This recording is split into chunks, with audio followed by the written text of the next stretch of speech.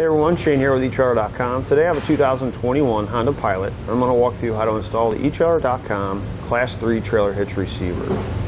Adding a hitch on the back of your Pilot is going to give you a lot of different options, whether that's towing a trailer, whether you're wanting to put a, a cargo carrier, maybe put a bike rack on, having the 2-inch uh, receiver tube opening is going to allow or give you a lot of different options for hitch mounted accessories.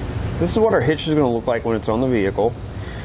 See, the cross tube is completely hidden behind the bumper fascia, so it maintains a nice clean look. The only thing we really see is our receiver tube. The edge of the receiver tube actually sits back past the outer edge of our bumper fascia or underneath our vehicle. So if we're trying to get anything in and out of the back of the vehicle, we don't have to worry about hitting our shins or anything like that on it. Hitch is going to have a steel construction, black powder coat finish, so it's going to hold up really well against rust and corrosion. 2 inch by 2 inch receiver tube opening. So again, it gives us a lot of different options for hitch, uh, hitch mounted accessories. Reinforced collar to help us clean up the look and also it's going to give us a little extra stability there for uh, any of our hitch mount accessories we may have installed. Hitch pin hole here is going to be 5 8 inch in diameter. The hitch does not come with a pin and clip, however you can find it here at eTrailer.com. And it's going to take a standard 5 8 hitch pin. We're going to have rolled steel safety chain loops. Uh, these are going to be welded on the bottom of the receiver tube. You can see we have very large openings, so it's going to accommodate different size safety chain hooks. I'm going to give you a few weight capacities and measurements to help you when deciding on any of your hitch mount accessories like your bike racks, cargo carriers, or ball mounts. From the center of our hitch pin hole to the outermost part of our bumper fascia, it's going to be about four and a half inches. That number is important for any of your hitch mount accessories that may fold up. You want to make sure they're not going to make contact. From the ground to the top innermost part of our receiver tube is going to be about 14 and a half inches. Keep that number in mind for any hitch mount accessories that may require a little more ground clearance. As far as our weight capacities go, we're going to have a 900 pound max tongue weight, which is downward pressure on the inside of the receiver tube. We're going to have a 6,000 pound gross trailer weight, which is a trailer plus the load included, and that's going to be how much the hitch can pull. You can use weight distribution with this hitch.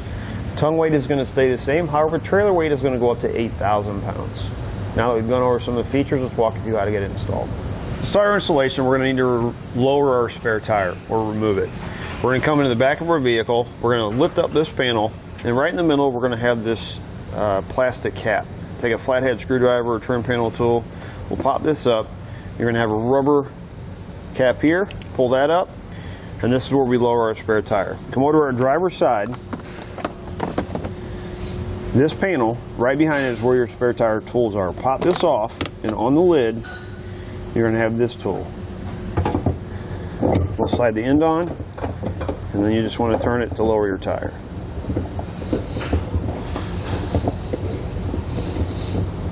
Now this is a brand new vehicle, but our mounting locations on our frame rails are open to the elements. So if you've driven your vehicle for a little while, might be a good idea if you take a nylon toothbrush and just clean out the threads because we don't want our hardware to cross thread inside of there. We're going to have three on the passenger side and three on the driver's side. With the next set of hands, we're going to raise our hitch up into position our hardware, we're going to take a hex bolt, conical tooth washer, and make sure the teeth are facing up towards the hitch.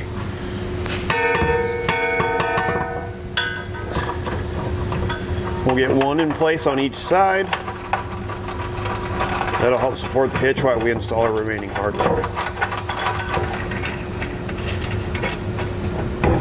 Once we get all of our hardware in place, we'll come back with a 7 8 socket. And we'll tighten all of our hardware into place.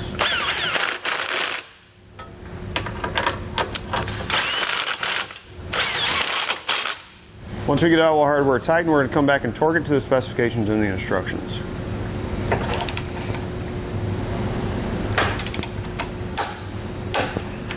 Once you have all your hardware torqued down, you can go ahead and reinstall your spare tire and reverse over from the way you took it off. It's going to do it for a look at installation on the eTrailer.com Class 3 trailer hitch receiver on a 2021 Honda Pilot.